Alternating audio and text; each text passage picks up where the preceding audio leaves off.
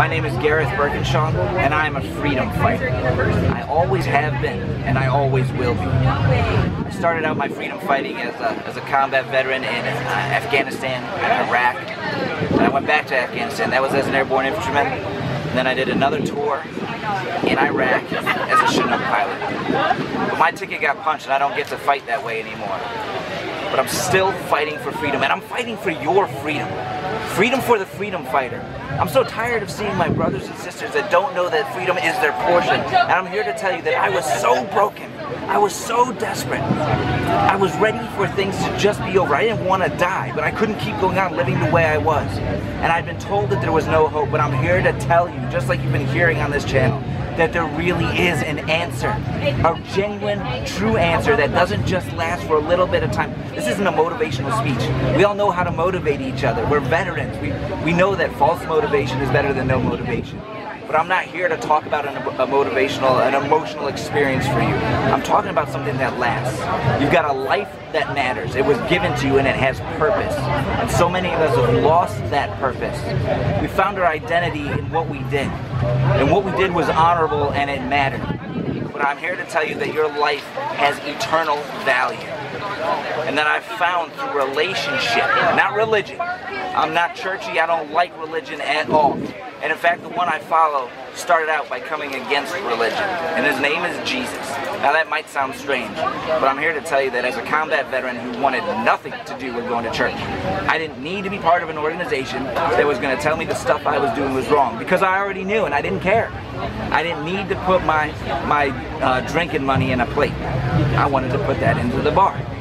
So I had no business being, uh, uh, no desire to be part of a church. Yet a t-shirt wearing combat veteran called. A guy that had been there and done that, and he said, listen to this story, and I'm gonna be real, real direct with you.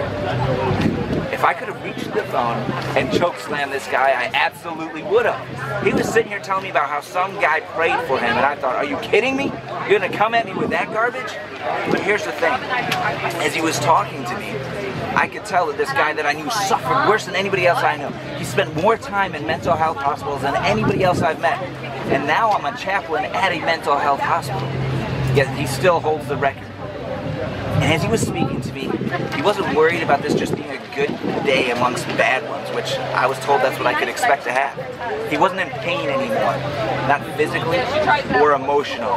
He was clear-headed, he was sleeping at night, and as he spoke, that dark abyss that I was living in, as I hovered above my own body, watching myself go through these motions that I didn't want to experience, as I was screaming and nobody could hear me, trying to get the message of desperation out from inside me through twisted, jagged metal, which seemed like that was my inside. That was the existence I was living in. And every time I tried to reach out of it to, to exist in the world that I was I was suddenly in but couldn't seem to, to relate to, all I did was experience torment. He wasn't in that place and he had reached through it and now his words were penetrating that darkness. And so I said, okay. I don't know what I'm doing here, but I went to this place where I knew there would be praying people.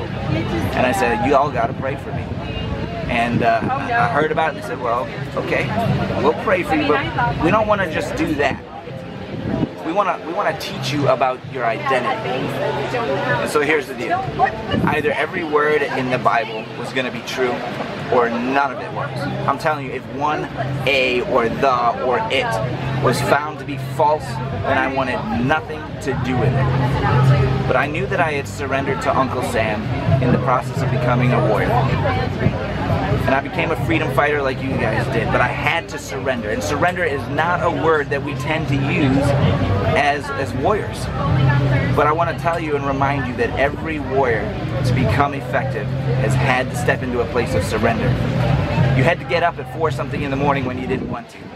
You had to be ready to, to, to run up a hill when you didn't feel like it anymore. You carried more weight than you, you thought was reasonable and it didn't make sense, but you did it because you were told to, because you surrendered. Because you believed in something bigger than yourself. Well, it's time to, to, to, to, step into something that's truly bigger than all of us combined. Something that has eternal value. Something that, that really does require some surrender again.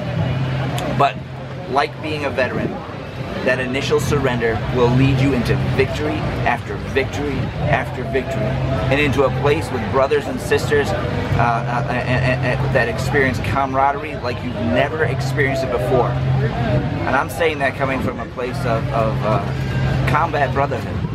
And I've never experienced camaraderie like I have through the surrender to Jesus. Now listen, this all sounds crazy, but this is what you have to do. You don't have to get churchy about it. You don't need to get on your knees and you might be angry at God. I get it. He's got big shoulders and he can handle it. Simply cry out to him like I did and say, hey, you're either real or you're not. And this is your opportunity to show up.